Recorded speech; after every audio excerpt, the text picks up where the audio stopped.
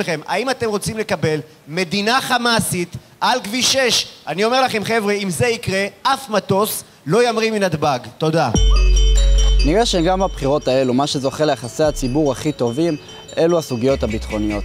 בעיקר בגלל הקמפיינים של המפלגות המובילות בסקרים. זה בהחלט בא על חשבון סוגיות חברתיות-כלכליות שפשוט לא מדברים עליהן מספיק. מעניין לבדוק האם הדור הצעיר שעומד לבחור על הכסף בפעם הראשונה, שוקל סוגיות כאלו או אחרות כמו יוקר המחיה, כשהוא בדרך לקלפי. יצאתי לבדוק את זה בבית ספר אליאנס ועירוני ד' בתל אביב, שם התקיימו פאנלים של המועמדים לבחירות והדמיה של ההצבעה. יש גם uh, טיפול בעניים, שהיום יש מספרים מחרידים על uh, מצב העניים בישראל. Uh, האם אתה חושב שזה משהו שצריך להיות במצע של כל מפלגה, כל מועמד לבחירות? מבחינת עוני וטובת מחייתם של האזרחים, אני חושב שצריך להיות במקום הראשון במצע של המתמודדים. אני דרשתי ואני דורש שמדינת ישראל תסתכל בעיניים לדור הצעיר שרוצה להיות מחר בבוקר עצמאי ורוצה לקום בבוקר ולדעת שיהיה לו מקום עבודה ושיהיה לו יכולת לקנות פה דירה במדינת ישראל וכולנו מתעסקת בזה, תתעסק בזה וזה מה שהיא עושה. צריך גם כמובן את הנושא הביטחוני שחוזרים עליו, אבל אליו אין הרבה שינויים. והעוני והרפורמות שיכולות לעבור הן מאוד רחבות, ועליהן צריך לדבר יותר. עוד לא נחשפתי לקשיים של יוקר המחיה, אבל משהו שכן כולנו, מסתובב את כולנו זה ביטחון. ו... גם בתור uh, תל אביבית, זה, את מרגישה שעדיין סובב אותך הביטחון, הסוגיה הזאת? כן, ואני חושבת שגם הקמפיין של דרום שחור מאוד uh, העלה את הנושא הזה, וזה משהו שהוא פשוט עלה לכולנו במודעות פתאום יותר. Uh, מפלגת גשר uh, חרתה על דגלה מסיבות uh, מאוד מאוד ברורות את הנושא החברתי, מכיוון שקודם כל, כמו שראיתם, אנחנו לא טוענים לכתר. אורלי לוי לא טוענת להיות שרת הביטחון, זה לא מעניין אותה ולא מעסיק אותה. יש לנו מצע מאוד מאוד מפורט, שבראשו מצב הבריאות במדינת ישראל, החינוך במדינת ישראל, ודיור, ודיור ציבורי. סבתא שלי מחכה כבר 22 שנה לדיור ציבורי והיא עוד לא קיבלה, וזה מלחיץ, זה מפחיד שאין לך... אין פה כל כך עתיד עם הכלכלה, לפחות איך שזה הולך עכשיו. זה לא מתקדם לשום מקום, זה רק העניים נהיים עניים יותר והעשירים נהיים עשירים יותר, אבל באמצע מעמד ביניים מפסיד. ואני פוחד שעוד כמה שנים אני לא אוכל לקנות פה דירה, ולדעתי בקטע הזה גם הילדים שלי לא יוכלו לקנות פה דירה. יוקר המחיה זה משהו שהוא בעל חשיבות אדירה, ואני מאוד מקווה שיסדרו את המצב ושכן אה, יקטינו את, ה, טוב, את הפער בין הפריפריה לתל אביב, למרכז, ו... אבל אה, העדפתי את הביטחון מאשר את יוקר המחיה. הם אה, פחות יוקר המחיה, יותר הביטחון, ביטחון זה מה שחשוב כרגע. באיזשהו מקום קודם כל ביטחון, אם אנחנו לא בטוחים אז אפשר להיות בדירה, אבל ליפול עליה טיל, כאילו. ואיך ככה הפידבקים בינתיים מבני נוער, מאנשים אחרים? סך הכל אין ספק שמדובר באירוע חשוב. מאוד שמחתי לשמוע את העמדה של חלק גדול מהתלמידים שאומרים שהיה להם קשה מאוד עם תרבות השיח של המועמדים ושל הנבחרים שהייתה צעקנית, אה, הרבה שימוש בסיסמאות, אה, הרבה פעמים אה, במקום תשובות ישירות לעניין, להסיט את תשומת הלב לרעת הצד האחר. אה, זה יפה שתלמידים שמים לב לזה, שלא נסחפים לתוך השיח הזה, שחלק באמת מהשיח באמת היה כזה, לצערי. אה, וזה שהם שמו לב וזה שזה הפריע להם, אני חושב שזו הצלחה גדולה. והנה התוצאות. במקום החמישי מפלגת כולנו עם 5.3 אחוז. במקום הרביעי מפלגת מרץ עם 13 אחוזים. במקום השלישי מפלגת העבודה עם 15 אחוזים, והליכוד מקום שני עם 18 אחוזים. ובמקום הראשון זכתה מפלגת כחול לבן עם 38 אחוזים. בשני בתי הספר זכו במקום הראשון והשני מפלגות כחול לבן והליכוד, כאשר התלמידים שבחרו בהם העידו שהשיקול הביטחוני הוא זה שהכריע. וכשזה קורה, המצב הכלכלי-חברתי שלנו בבעיה.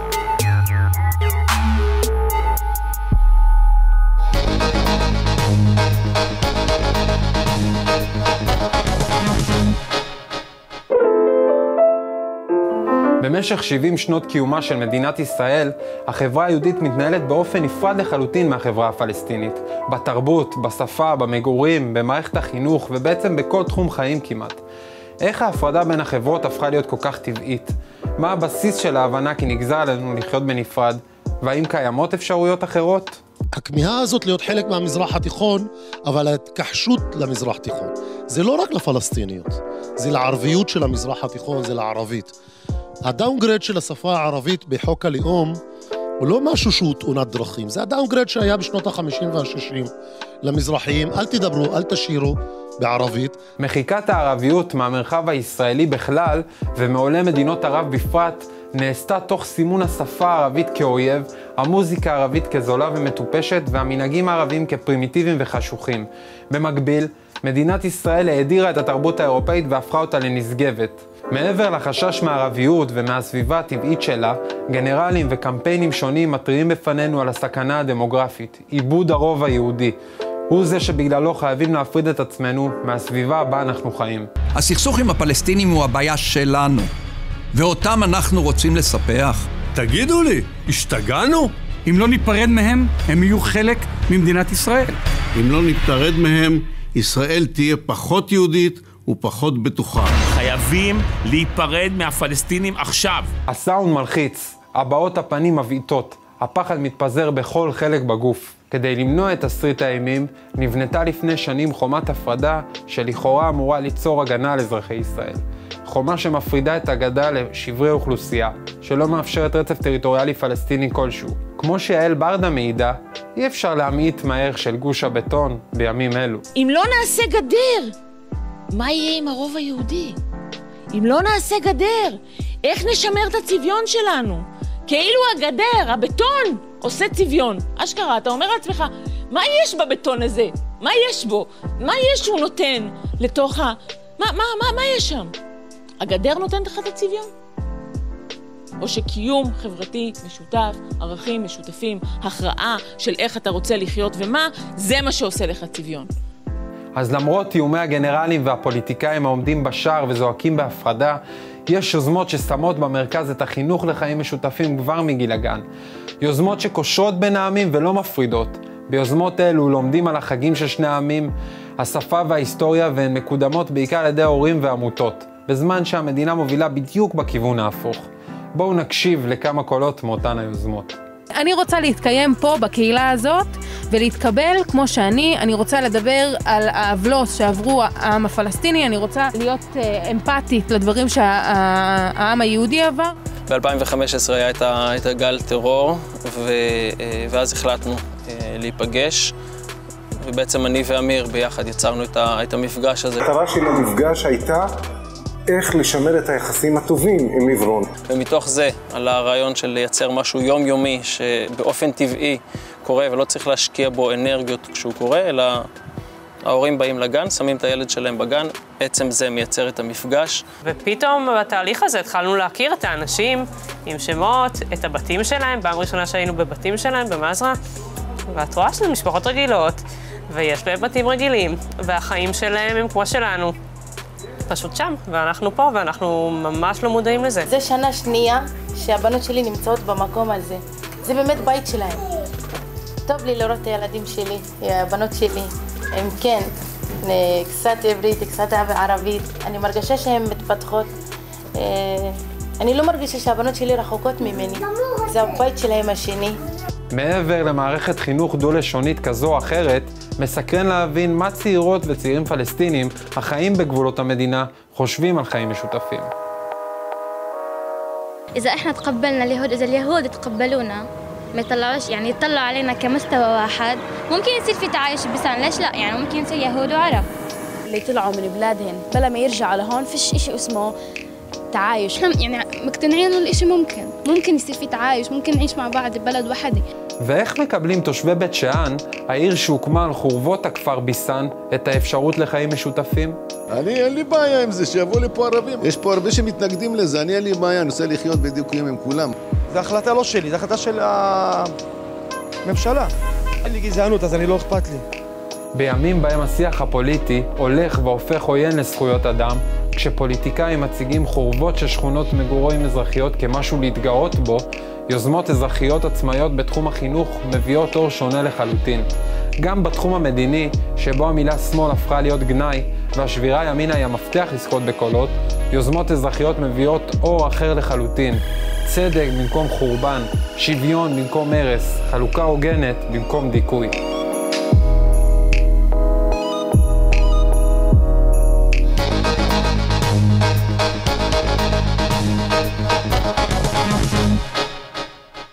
בחירות 2019 מתקרבות ומפלגות כמעט ולא מציעות פתרונות לסכסוך.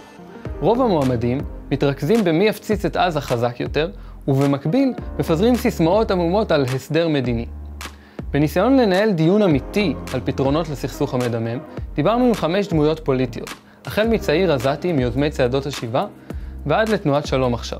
כשאני מסתכל על אה, מערכת הבחירות אה, היום, אה, מה שמגוחך בעיניי זה לשמוע את לפיד, את לבני, את גבאי, גם את גנץ מדברים על, על הסדר מדיני. על, על, על איזה הסדר הם מדברים? כי הרי ברור שלא יהיה שום הסדר אמיתי בלי סיום הכיבוש, בלי סיום המצור, בלי הסיום של הדיכוי הלאומי של הפלסטינים, וזה לא מה שמדברים עליו. קודם כל יש לך את האמירה של מפקדים למען ביטחון ישראל. אנחנו הציפו את הרחובות, צריך להתגרש מהפלסטינים. אמירות כדוגמת הסכנה הדמוגרפית. אם אנחנו רוצים להמשיך להיות מדינה יהודית, אז צריך להיפרד מהפלסטינים, כי הם מהווים סכנה דמוגרפ... דמוגרפית, ואז יכול להיות ש... שבעל כורחנו נצטרך לחיות במדינה דו-לאומית. הסכם מדיני עושים דרך משא ומתן, זה לא דרך התפרדות. הפתרון של הנהגת שלום עכשיו מתמקד בהפרדה. אנחנו כאן והם שם. אנחנו עם צבא והם בלי. אנחנו מדברים על הפרדה בכל השלבים. כשאנחנו מתייחסים אה, לכל אוכלוסיית המתנחלים, שהם אגב 4% מאוכלוסיית מדינת ישראל, 75% מהם יישארו בבתים שלהם, לא יזוזו. אנחנו מדברים על משהו באזור של 30 אלף בתי אב שיצטרכו אה, לעבור. בעיניי האינטרס הישראלי הוא שמדינה פלסטינאית תהיה בסופו של דבר מדינה משגשגת, ברת קיימא. אה, וכן, בהחלט תהיה מדינה מפורזת. אני חושבת שגם אבו מאזן מבין שקודם כל, אם אנחנו מסתכלים על האביב ערבי ואנחנו מסתכלים על מה שקרה במדינות אחרות, אז צבא זה דבר שבעולם הזה לפחות יכול להתהפך עליך ולעשות הפיכה. לצוות אבו ראס, מיוזמת ארץ לכולם שתי מדינות מולדת אחת, פינוי ההתנחלויות אינו יעד עיקרי. כל עוד תהיה ריבונות פלסטינית וזכות השיבה תתממש. אנחנו רואים במרחב הגיאוגרפי בין הים לירדן כמולדת לשני העמים. אני חושב שצריך לאפשר ליהודים לגור איפה שהם גרים, או בכל מקום אחר במרחב של המדינה הפלסטינית, אם ירצו כאזרחים, אם ירצו כתושבים. מה שחשוב לי, שתהיה להם את הזכות הזאת, כמו שאני תובע כחלק מפתרון סוגיית הפליטים, שתהיה הזכות גם כן לפלסטינים, אפילו מבחינתי תושבי מחנות הפליטים בלבנון, שיהיה להם זכות לגור בתל אביב או בחיפה או ביפו או באשקלון או בנהריה כתושבים במדינה הזאת, בתוך מדינת ישראל. אני מדבר על הקמת שתי מדינות עצמאיות, ריבוניות, בגבולות 67. מדינת פלסטין לצד מדינת ישראל, כביטוי לזכות הגדרה עצמית לשני העמים. אחמד אבו טימה, מהמארגנים של צעדות השיבה בעזה, מציג שאיפות שונות. الانفصال صعب لأن هناك حقائق على الواقع في الحدود يعني التاريخية ما بين النهرين هناك ملايين الإسرائيليين هناك ملايين الفلسطينيين أين سيذهب كل هؤلاء؟ نحن نريد في هذه البقعة الجغرافية الصغيرة في هذه الأرض المقدسة نحن نريد أن يتعايش الجميع أن يتعايش المسلمون والمسيحيون واليهود أن يتعايش الجميع في دولة ديمقراطية واحدة على أسس إنسانية. אני חושבת שאם תקום מדינה אחת, היא תקום כמדינת אפרטהייד. כי... ואני לא רוצה להגיע למקום הזה. כי אנחנו בשלבים די מתקדמים של הדבר הזה. וכל הניסיונות הסיפוח שבנט מדבר עליהם, אם הם יתממשו זה יהיה אסון. זה לא יהיה מדינה אחת. זה תהיה מדינת אפרטהייד מאוד ברורה, שיש אנשים שיש להם זכויות יתר. ויש אנשים שאין להם זכויות בכלל. וחוק הלאום הוא היה שלב אחד בהגדרה של מה זה המדינה הזו, האחת צריכה להיות. נכון שהיום הפתרון של שתי מדינות נראה כל כך רחוק, ואני חושבת שהימין הצליח להחדיר בכולנו את, את, את הדבר הזה, שהפתרון הזה לא קיים. הסטטיסטיקות מדברות על כמעט 450 אלף מתנחלים, ואנשים אומרים, אה, איך אפשר להוציא אותם, איך אפשר ש... אני חושבת שאם מחליטים, אפשר לעשות כל דבר. نحن الآن في القرن الحادي والعشرين غير المقبول ولن يبقى في المستقبل هذا الواقع الشاذ الواقع الذي يقوم على وجود جدران تحبس خلفها ملايين البشر وتحرمهم من ابسط الحقوق الانسانيه نحن نريد لدوله اسرائيل ان تتحرر وان تتحول الى دوله ديمقراطيه دوله لكل مواطنيها فلسطينيو الداخل وفلسطينيو الضفه وفلسطينيو غزه واللاجئون المهجرون מדינה דמוקרטית אחת, שתי מדינות, קונפדרציה?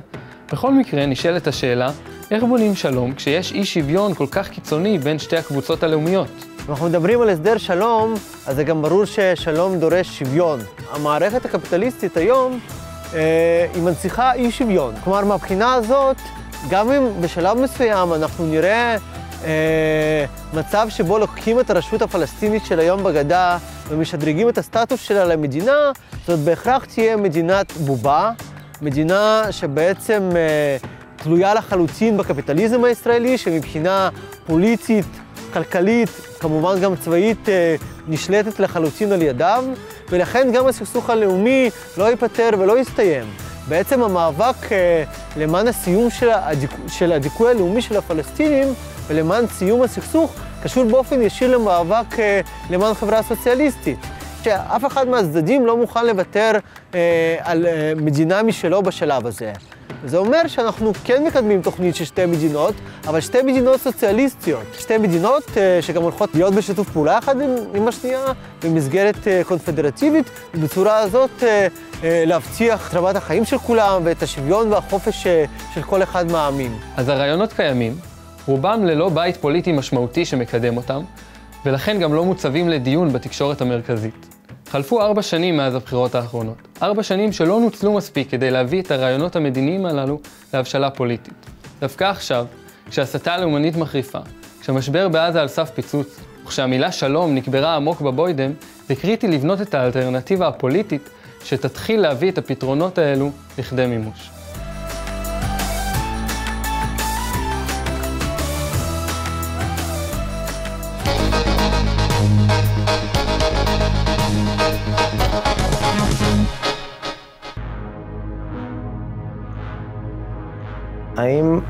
אהיה פחות גבר אם אני אעשה שירות שהוא לא קרבי? אני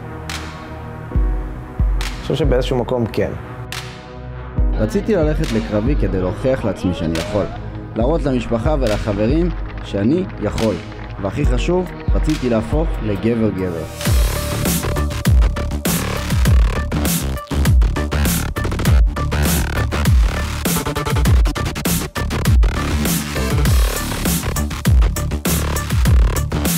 זהו יום ההכנה לקראת גיבוש ליחידות קרביות, והנערים האלו יעשו הכל כדי להתקבל לאחת הסיירות בצבא.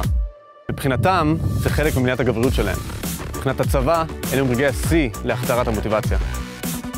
השירות המשמעותי ביותר שתורם ליכולת של צה"ל זה השירות ביחידות הקרביות.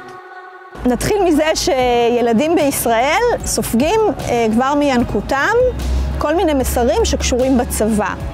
המסר הראשון והדומיננטי מכולם אומר שכשהם יגדלו, הם יתגייסו לצבא. מסר נוסף הוא שהצבא הוא השלב בחיים שאמור לבגר אותם, שאמור להפוך אותם מנערים לגברים. כן, אני רוצה כאילו קרבי, אני רוצה סיירת. תמיד רצית להיות קרבי? כאילו תמיד ידעת שאתה הולך... כן, כאילו רציתי את זה מגיל קטן. בעיקר בשביל... בשביל עצמי, אני רוצה כאילו להוכיח לעצמי שאני יכול, שאני יכול, ואני רוצה גם לתרום. זה חוויה כאילו ש, שאני כן רואה הרבה אנשים שאני מעריך שהיו בקרבי ושמדברים על זה בתור משהו שמאוד ביגר אותם ונתן להם יכולות לחיים ושהפך אותם לרציניים בחיים, משמעת עצמית, מוטיבציה. הם מגיעים אה, לצבא עם איזושהי ציפייה, עם איזושהי מוטיבציה. לשרת בצבא לא רק בגלל שהם תורמים למדינה ככה, אלא בגלל שהם מעצימים בעצם את האישיות ואת הזהות הגברית שלהם. זה! כמה זמן אתם כבר יודעים שאתם רוצים להיות קרביים? ארבעה חודשים. תכננתי, תכננתי למודיעין ועברתי לקרבי בסוף. זה לאתגר את עצמי חד משמעית, לעשות משהו שלא ציפיתי מעצמי שאני יכול. מגיל מאוד קטן, הבנתי שאני רוצה להיות בקרבי, מגיל עשר בערך. אני חושב שתפקידים קרביים יכולים אה, להפוך אותי לגבר-גבר, מה שנקרא. אצלי זה גם התחיל בגיל מאוד קטן, משהו כמו גיל עשר. אבא שלי רק קצין, כאילו בצבא, קרבי. הוא אומר שיהיה קשה לי, ואני חושב שאני מפונק. מה אתה הולך ללמוד מהשירות או מה... על עצמי הרבה. ולהראות לכולם שאני לא עומד מפונק. אז לא פעם, ההוכחה לגבריות אינה רק עבור עצמך, אלא לסביבה הקרובה, ובמיוחד למשפחה. גם כפיר, ששירת לפני עשור כקצין קרבי בחברון, מדבר על תפקיד המשפחה בעיצוב החלטתו לשרת ביחידה קרבית. יואו, אני כן צריך ללכת להם שערות? יואו, אני לא אהיה כמו אבא שלי. כזה... מה, כאילו, שוב, מהסיבות האלה של למה, אבל... האם זה כי אני לא יכול? האם זה כי אני מפחד? מה, אני מפחד להיכשל? איך תחזור הביתה אחרי זה כשאח שלך ככה, ואבא שלך ככה וזה, ואתה לא? קשה. אני לא חושב שהייתה אופציה מראש שאני לא אלך לקרבי. האם אני אהיה פחות גבר אם אני אעשה שירות שהוא לא קרבי? אני חושב שבאיזשהו מקום כן. החפיפה הזאת בין גבריות לצבאיות, או בין אה, חיילות טובה לגבריות אידיאלית, מתקבלת אה, כמובנת מאליה, כמשהו שאי אפשר לערער עליו.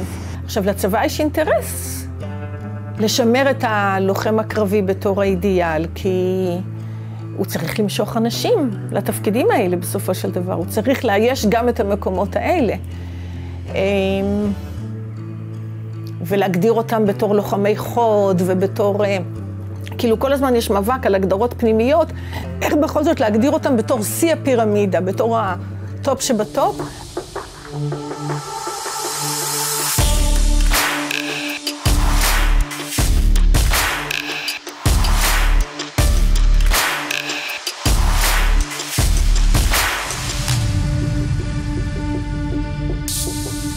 הכשרה צבאית בנויה כסדרה של מבחנים שמעורב בהם אה, סבל פיזי וסבל נפשי, ומי שעומד במבחנים האלה אמור לעצב אה, לא רק את הגוף שלו כחזק, שרירי וגברי יותר, הוא אמור לעצב גם את המבנה הנפשי שלו, גם את האישיות שלו. תכונות כמו כוח סבל, שליטה עצמית, אה, יוזמה, אחריות, כושר מנהיגות, כל התכונות האלה שפסות כגבריות מובהקות וכגבריות רצויות, לא רק אה, בחיים הצבאיים, אלא גם בחיים האזרחיים. אם יש לך מקום, תיקח אותו. נראה לי מין אה, אולי דחיפה כזאת של גברים, כאילו להיות הגבר החזק וכל זה שהרבה יותר נמדדים ב... כמה אתה עובר גיבושים, כמה אתה חזק. אם תשאל אותי בתור אביחי הפרגמטי, מה, מה הייתי רוצה שתהיה מימוש הגבריות שלי, זה לא הצבא. האם בתור אה, אביחי רגשי, מה יכול להיות אה, ישפיע עליי, כאילו שאני אחשוב שזה תהיה מין מימוש של הגבריות שלי, כן? כנראה שזה משפיע. הגנה למולדת, שמירה על ביטחון המדינה, מסתבר שהצורך להתגייס לצבא מספק מענה לצעירים בעיקר כדי להוכיח את עצמם, לצבור חוויות, להתפתח אישית, וכמובן, לעמוד בציפיות של המשפחה והחברה. מה הצבא עושה? הוא ממשיך לעבוד על היוקרה של הקרביים. ייצור של פטריוטיות ונאמנות מצד אחד, וייצור של התמונה של הרווח האישי לכל אחד. כמו שהוא אמר לך, אני רוצה להתמודד עם אתגרים אישיים, אני רוצה לבדוק את גבולות היכולת שלי, אני רוצה לראות אם אני גבר-גבר. זה נופל בדיוק אה, אה, בגיל הנכון לבדוק את הדברים האלה. התאמה מושלמת בין המטרות של הצבא והגיל שהוא חוטף את הנערים. אז קיים קשר ישיר בין המוטיבציה של צעירים לשרת ביחידות קרביות לעיצוב הגבריות הישראלית. ולצבא יש אינטרס לשמור על הקשר הזה ולתחזק אותו. בפרק הבא נעסוק בהשלכות שיש לשירות הצבאי הגברים בישראל, והשפעתן על הבנת הגבריות שלהם.